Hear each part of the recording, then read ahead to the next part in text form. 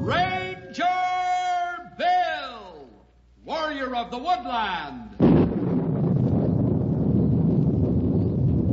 Ranger Bill, warrior of the woodland, struggling against extreme odds, traveling dangerous trails, showing rare courage in the face of disaster. In the air.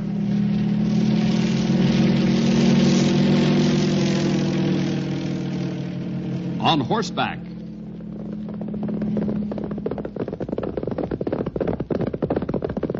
Or in a screaming squad car.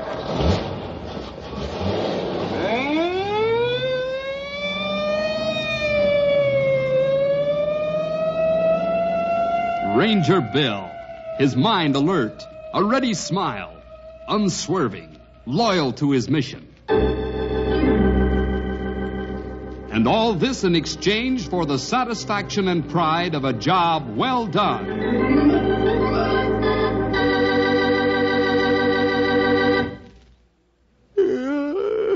sure is a lazy day. I'll say. Ever since Bill and Grey Wolf left yesterday, things sure have been quiet. What do you suppose Colonel Andrews wanted, Stumpy? I don't know, I'm sure. All I know is that I'm glad he didn't want me. This weather's too hot to make any kind of trip in. You ended with that sentence with a preposition. I what? You ended that sentence with a preposition. Well, how could I do that? I don't even know what a preposition is. Don't you really? No, of course I do. I don't know where you young whippersnappers get the idea that you know everything. Okay. What's a preposition? Figure you're gonna trap me, eh, young feller? I'm gonna try. Okay. A preposition is the kind of word that tells how one thing stacks up against another, like over, under, near, with, or the one I used, in. How's that? Oh, I don't know what my English teacher would say about it, but I think you're right. And I apologize from the bottom of my heart for doubting your great storehouse of knowledge. I've been to school in my time, too, you know. I believe it, but I just can't seem to picture you in a classroom. You seem so, well, so. Stupid? No, no.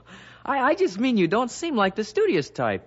I hardly ever see you reading. Well, in this work, we hardly ever have time to look into a book, except in those that have something to do with the work, and, of course, the Bible. I guess so. Oh, boy. Today sure is a hot, lazy day. Uh, turn on that radio and see what the weather report is. It should be coming on right about now. Okay.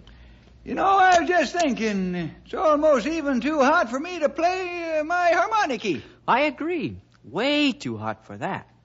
Locally, continued hot with the temperature getting into the upper 90s. Not even a breeze in the offing. Uh, of course, if everyone on the north side of Knotty Pine would stand out on their lawn and wave big blankets, uh, we might be able to start a breeze that would cool the rest of the town off. Hey, that's a good idea. Especially since we're on the south side. I'm sure all of you on the south side of town would think that's a pretty good idea. We sure do. Anyhow, the weatherman shows no mercy for the next 24 hours at least. High temperatures all ranging in the 90s. Humidity stands at 36%, and no recordable breeze at all at the present. This is uh, good forest fire weather, my friends. Keep that in mind when you're out trying to enjoy the elements.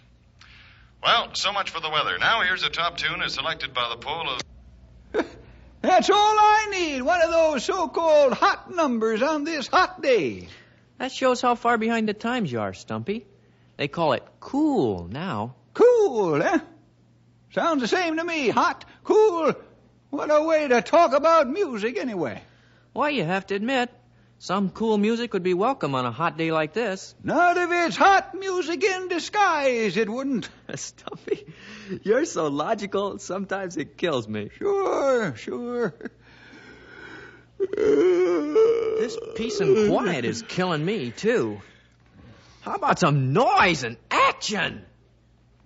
I don't know who you addressed that there remark to, but whoever it was wasn't listening. Yeah? You wouldn't be as anxious for noise and such if you'd had an experience like I had once, t- when I was younger, that is. Oh? Yes, sir. You'd be plenty satisfied with every golden minute of silence if you'd gone through what I went through with Marty Patton. Who's Marty Patton? Want to hear the story?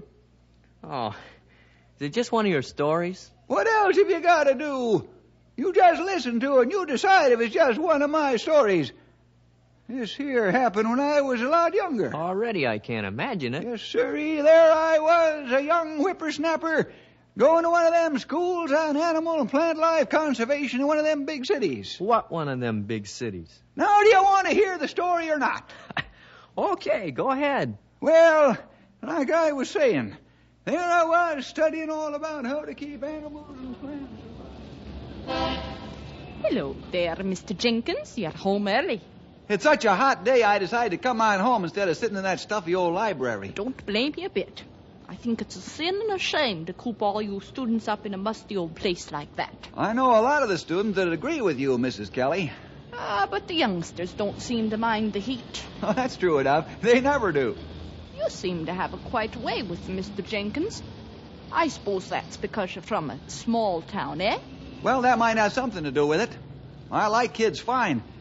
Suppose I like what they come out with about most of all. Oh? Yeah, like the other day I was visiting one of the teachers over at that conservation school I'm going to. And when I got there to his house, he was asleep on the couch. I didn't know it, of course, and so I asked if he was home. And one of his little ones, just as quick as could be, ran into the front room and over to him and lifted up his eyelid and took a long look. Then came back to me and said, Yep, he's still in there. oh, you're joking with me, aren't you? well, maybe a bit. oh, I'll be sorry to see you go back west to where it is that you're from. Uh, uh, Knot Hole or something, isn't it? Knotty Pine, ma'am. I knew it was something like that. Well, I'll be sorry to leave, especially all the boys and girls. I know one child in this neighborhood you won't be sorry to see a last of. Who's that? Marty Patton. Oh. I'll have to admit to you that young Mr. Patton and I don't seem to hit it off very well. But then who does with him? Ain't it the truth? His folks are a nice lot, or I wouldn't have him in the building. Every year I hope he'll grow up. Well, Mrs. Kelly, I don't think it'll happen this year. No, I guess not. It's a shame that they live right above you. Must make your stay just a little unpleasant. But then you're not the complaining kind, so I don't suppose you'd tell me if there was any trouble. Well, there really hasn't been anything in the way of trouble, ma'am. He tied a rope across my door once to trip me, but I've been through the woods out west often enough to look out for such things. And when that and a couple of other tricks didn't work, he just seemed to give up. Well, that's a blessing. And, uh, talking about upstairs, that's just where I'd better be going. I got this whole book to get through before tomorrow. If I don't get started, it'll be a lost cause.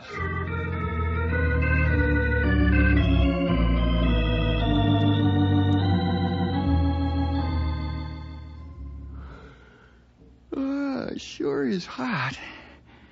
Hard to concentrate on all this stuff. Huh. Wonder why I didn't open the window.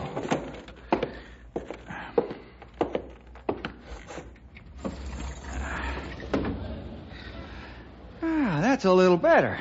Now maybe I can. Huh? What are those ropes hanging down by this window?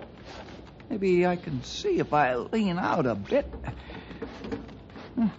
Some sort of pulley affair on the roof up there. Big truck down there in the street. Oh, well, this ain't getting that book read.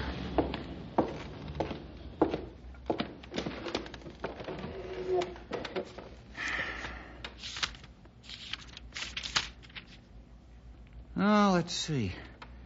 The mighty oak. Hmm. Wouldn't I like one to sit under right about now? Hmm. Wonder where I could get an acorn. Ah, come on in. It ain't locked. Uh, this the uh, Patton apartment? No, they live upstairs. Uh, wouldn't you know it? Top floor every time. Top floor what? Mac, I'm a piano mover. In this city, only people li- who live on top floors of apartment buildings play pianos. Uh, can I use your window? My what? Window, window, right over there. You, you ain't figuring on. Now, look, Mac, all I want to do is to tell my fellow union members that the piano goes up on the top floor. Oh, of course. Go ahead.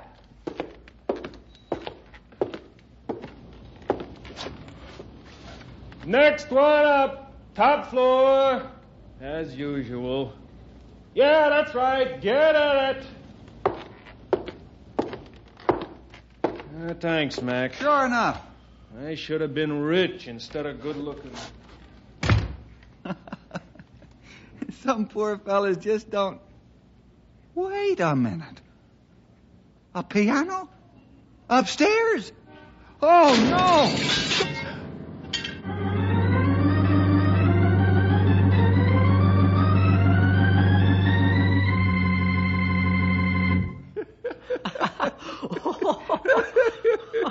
and that piano came right through the window? Yep. It seemed pretty funny to talk about it now, but at the time it sure wasn't. Well, what happened? Oh, for a while I got a shower every time it rained. you see, the insurance company and the piano movers were all in a sort of disagreement about who was supposed to pay for the damage. Boy, that's rich. Well, what did Marty Patton start taking piano lessons? Well, uh, we were never too sure about who took who. Either he took them lessons or they took him. And compared to that piano crashing through the window, uh, this was catastrophic. Every day for a couple of hours it was la la la la la la la la la la la la.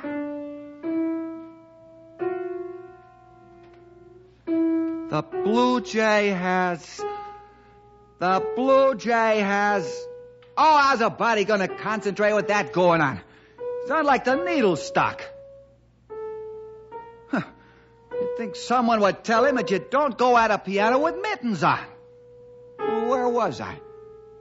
Oh, yeah. The Blue Jay. Oh, who cares about that old Blue Jay? What I need is a friendly woodpecker. Where's that old broom of mine? Maybe if I bang on the ceiling, he'll take the hint and go play ball or something. Oh, here it is.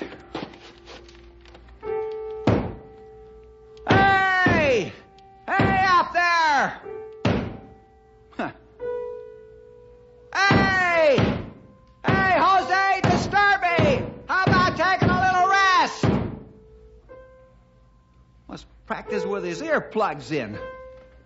Coward. Well, this isn't getting me anywhere.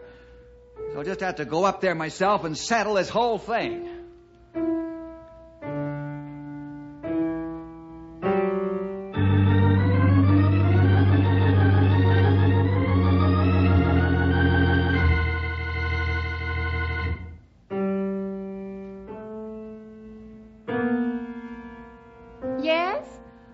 Mr. Jenkins, can we do something for you? Didn't you hear me banging on the ceiling? What's that? I'm sorry, just a minute. Martin! Martin!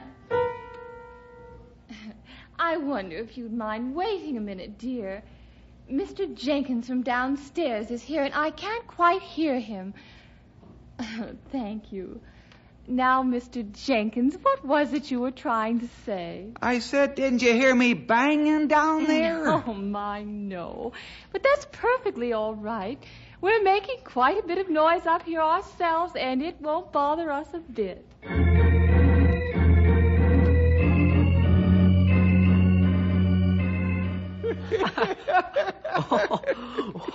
wow, she didn't even know what you meant. Nope. Uh, I think some folks only understand what they want to, and that's all. So Marty went right on playing the piano? If that's what you want to call it. He dropped everything else, practiced on and off all afternoon and all evening. You never knew when it would start. Well, didn't anyone try to stop him? I mean, didn't the neighbors all complain? Oh, we all wanted to, but we felt kind of ashamed. Ashamed? Well, we figured that his folks had to put up with it same as we did, and they weren't giving in or out. We thought that maybe we weren't showing proper respect to young talent. So you all put up with it? For a while, at least. Oh? One night when we knew that the whole Patton family was out, a couple of the fellers living at that place and me, we went up the fire escape to the Patton apartment and untuned the piano. No. Yep. I know, I know, but we figured that this was an emergency. Well, what happened? Nothing. Nothing. Not a thing. They never even noticed that the piano was out of tune. you may think that was funny, but I didn't at the time. I was getting desperate. I was getting farther and farther behind in my studying, and it didn't look like he was going to give up. Well, ma- young Master Jenkins, and how are you this fine day? It's getting the worst of me, Mrs. Callie. Thought you were looking a bit pale these days. Studies are hard, eh? Studies are no harder than the ever work. Oh, begging your pardon, ma'am. I'm a little worked up. It's that young man upstairs who's trying to play that piano. Oh? You should be glad that you're on the first floor and don't have to listen to that banging and thumping and all them almost chords. Oh, I had no idea. I know Mrs. Peterson said something about the noise, but you know her. She complains all the time. But if you complain, well, there must be some. Good reason. Have you tried talking to them about it? I Maybe- tried everything and nothing's worked. I even tried to bribe them. You what? That's right. I saw him heading upstairs the other day and figured he was going to have another go at them keys. So I gave him 50 cents and told him to have a good time at the dime store or something. That was very generous of I was desperate. Well, what happened? Oh, he tore off down the stairs as fast as he could go. I figured I'd fix things for the afternoon. But before long, I heard him charging back up the stairs again. I stepped out in the hall and asked him if he was done so soon. Having a good time, that is. And? Oh, yeah? He tells me. I just went down to the store to buy a new book of scales. Thanks a lot. And off he goes up the stairs. And off I go. A broken man. Oh, Mr. Jenkins, you're exaggerating. You get along so well with children. Not this one. Well, you have to admit, he's really sticking at it. But he don't get no better. He runs through that music like a blindfolded dog in a meat house. I think I'll get over to the drugstore and see if Mr. Perkins has any of that headache powder. Of course, as you say, I'm not on the next floor, so I really don't know. But I think all of you are exaggerating this whole thing. Mrs. Kelly, under normal circumstances, I'm a calm, easygoing sort of fella. But if that Marty Patton don't soon get a whole lot better or a whole lot quieter, I'm going to have to be carried out of here in a butterfly net.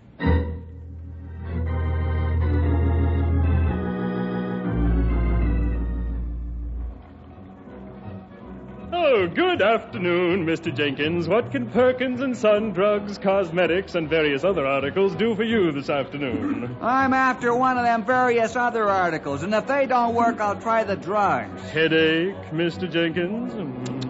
What have you got that'll, uh... Cure you of piano lessons? Huh? How'd you know about that?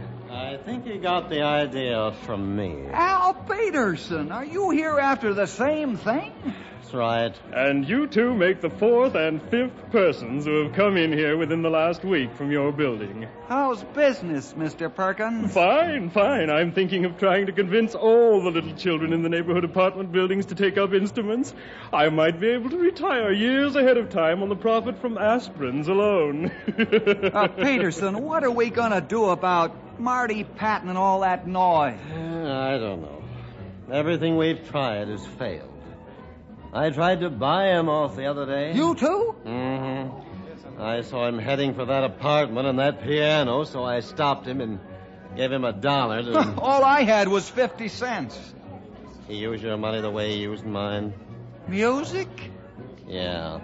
Well, cheer up, man. You're not alone. I've heard practically the same story from everyone who has come in here. Everyone has been paying for the music they don't want to hear. Perkins, don't you have a customer to wait on or something? Me? No, no, no. I've got a lot. Uh, well, maybe I'd better check a little stock in the back. Better make sure all of those various other articles are still there. Yes, yes. Well, uh, if there's anything you need, just. Uh, If well, only that Marty would stick to some sort of regular practice time instead of a little here and a little there. His mother says he needs to be inspired. We've got to think of something. Well, good morning, good morning, why, Mrs. Patton. Uh, we were just. Uh, you, uh, I mean, uh, what, what can I do for you? I really wanted to see these two gentlemen, Mr. Perkins, but uh, you can listen too if you want to. He wants to. Yeah, well, fine. You wanted to see us, Mrs. Patton? That's right. What good luck to run into both of you together. Well, what can we do for you? Well, it's about Marty. Something's happened to him? Oh, no, nothing like that. Oh. it's just that we, Marty and I, would like to show our appreciation to all of you fine neighbors. Uh, excuse me, ma'am, but do you mind if I sit down here on this stool while you go on? Not at all. Now, you were saying something about showing appreciation. To us fine neighbors. Mm, That's right. A number of you have been so kind as to give my little Martin money with which to buy more sheet music and some practice books. oh, yes, Mr. Perkins. We were delighted too. Somehow we thought that Martin's music might be a bother to the neighborhood. But this general approval has banished all our fears. And that's why we'd like to invite you all to the concert.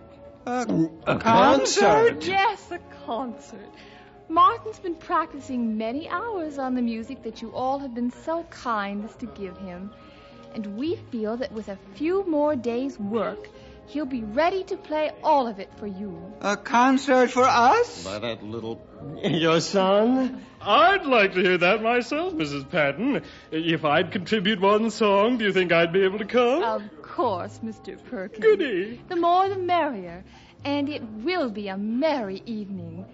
We'll look forward to seeing you all first for dinner and then a concert by Martin on this coming Saturday evening. Oh, we'll be there. We sure will, Mrs. Patton. With bells on.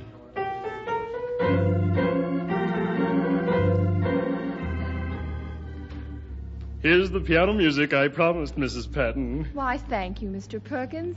Don't forget Saturday.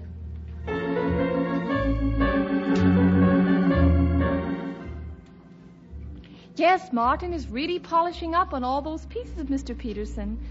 I hope you and your wife will be with us on Saturday. I'll be there. Uh, my wife is um, uh, on a visit to her sisters in Vermont for a while. Oh, how long will she be gone? I don't know.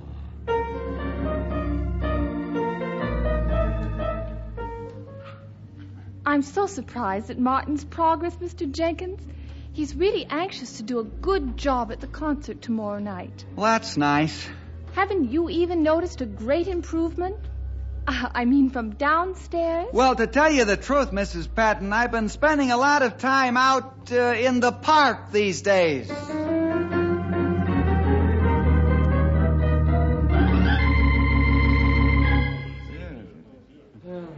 That was a good meal, Mrs. Patton. Yes, indeed, Mrs. Patton. You must give my wife the recipe for that fluffy stuff we had for dessert. It was simply scrumptious.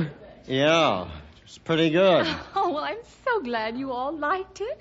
It was nothing, really. Oh, look at him, sitting over there by the piano, all ready for his big moment. Yeah, I noticed. Uh huh.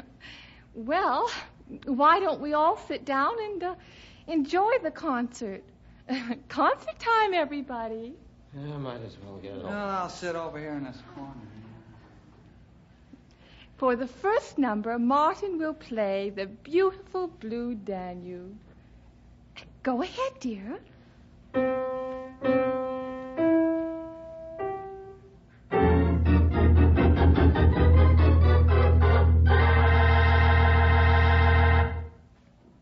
Can't figure it out either, Peterson. It's been quiet up there most of the day. This is the second day of silence. I know. Usually by now, the chandelier in my apartment would be swinging back and forth. Drove my wife almost crazy before she left for Vermont. When's she coming back? Oh, a few more days of quiet like this one, and she'll be back in a flash. I wonder why he isn't beating that thing. You don't suppose. Now, this is just an outside chance. But you don't suppose that that concert Saturday night convinced them to give up, do you? Not a chance. Life doesn't work out like that, except in stories. I know, but. Hmm. Probably somebody else wondering what's happened to Martin. Come in. Is uh, this the. Uh... Oh, it's you again. It's a piano mover. What are you doing here? What do you think? Are you bringing your piano in, or Or taking one out. Mac, in my line of work, you can depend on two things. People who want pianos in apartment buildings always live on the top floor, and they never keep the piano for very long. Can I use your window? Hey, you're not thinking Are of. we going to go through this again? He just wants to shout to his crew down below. Oh.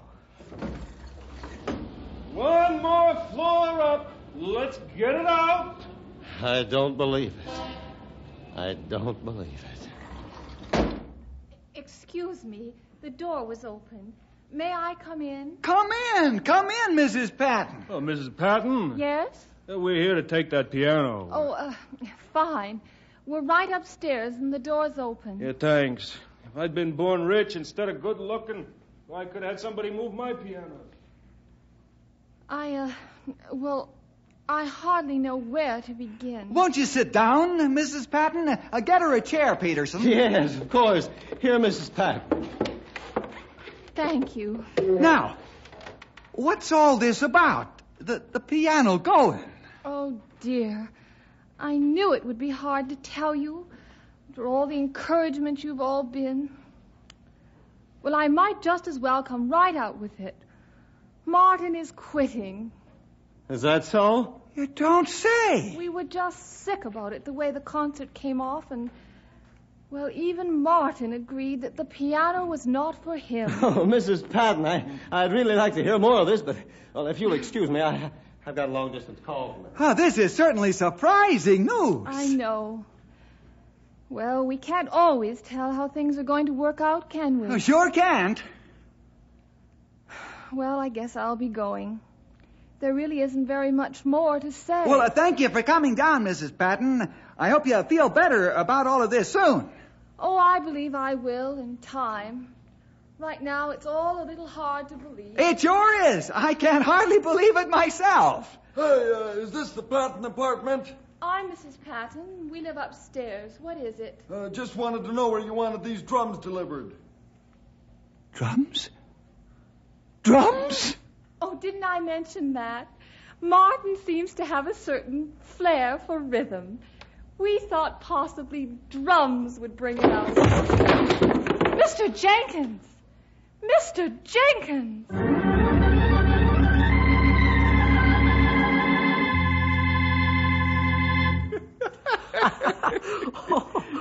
Oh, oh, oh, Did that really happen to you, Stumpy? Well, now, what do you think, young feller? I don't know. I told you you'd appreciate the peace and quiet of this country once you'd heard that story. Well, I do agree with that. I don't think I like big city living Yep, give me the peace and quiet of this little old town of Knotty Pine. with no one to play the piano. Or the drum. Right. Where you can just sit back, relax. And play your harmonica if you want to. Harmonica. Harmonica. Oh, no.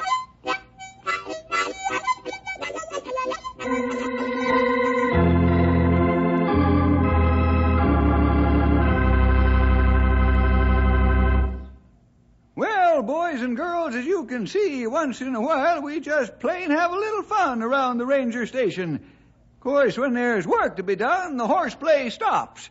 I hope you manage to keep a lot of both in your life. We'll see you all next week for more adventure with Ranger Bill!